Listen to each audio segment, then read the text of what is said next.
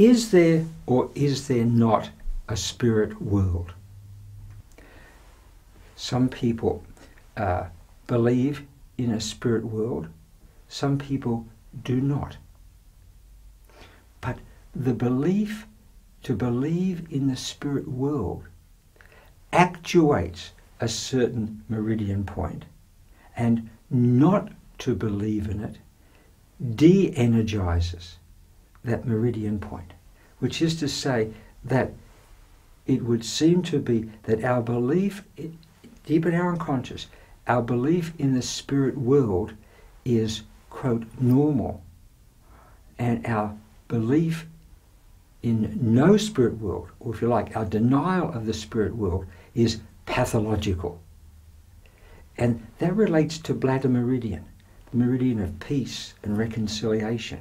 We can't have peace and reconciliation within ourselves without the belief in a spirit world. I've been working very intently with an English medium and clairvoyant, clairaudient and clairvoyant called Owen Potts, a man now, I think, probably in his early 80s. I've been working with him intently for you know, 15 or, or more years. I've spent countless hours with him. And I've got hours and hours and hours and hours of, of tapings of my work with him. My wife Susan has been with him even longer, must be over 20 years. And, and hundreds and hundreds of episodes have occurred within this period of time, over all this time, I mean, we spend, we go to England and spend, uh, I suppose, four, five, or more weeks with him intently every year and have done for a long time. And then before that, when we lived in England. And it becomes very difficult not to believe in the spirit world after all the, so we say, people who come through.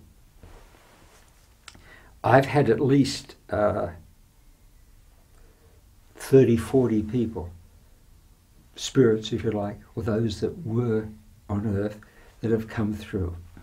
I do think there is a great deal to be gained from having uh, working with, with a psychic, with a medium, and learning about the spirit world.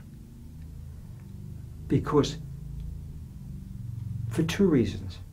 Well, few. One is, as they say, no one in the other world ever says they wish they were back here. and secondly, it's not just not to learn that Uncle Joe is still alive up there, but but to realize there's so, so much more. So, so much more than our five senses tell us. So, so, so much more. So much more than science will ever learn. We're just, there's are all these other universes just there. So many of them just about in contact with us. There's so so much more. And, and, and it's just the wonder of all that, which I think is so important. And yes, it, it is nice to know that when you die, you're not really dying, although you are. But there's something more which is going to continue and continue and continue. There is this there is this other universe and other and other and other and other, and this is just one of them, in which we are these entities, these this stuff, in which this spirit evolves through the influence of all these other spirits. For what reason? We don't know.